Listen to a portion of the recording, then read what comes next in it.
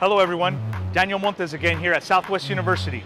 Today I want to take you on a virtual tour of a very awesome piece of equipment that we've recently added to the curriculum here at Southwest University. With the constantly evolving electronics of today's modern vehicles, Southwest University likes to stay a step ahead of the curve. Everything on a vehicle nowadays is either electronically controlled or electronically monitored. It is for that reason Southwest University has one of the most in-depth electrical training classes in the area.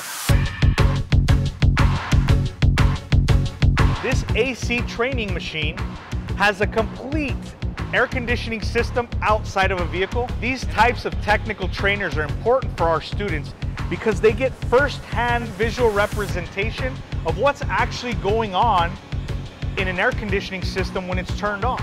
We can create faults, cut off coolant flow, students can see the flow of coolant changing from a liquid to a gaseous state and then back to a liquid. But we have it all on a board for our students to learn on hands-on. We have implemented trainers like this, complete CAN bus systems. It allows our students to understand current flow, circuitry, and multiplexed CAN bus systems. We have integrated the uh, hydraulic systems into the diesel technology program curriculum to better maximize our students' earning potentials after graduation.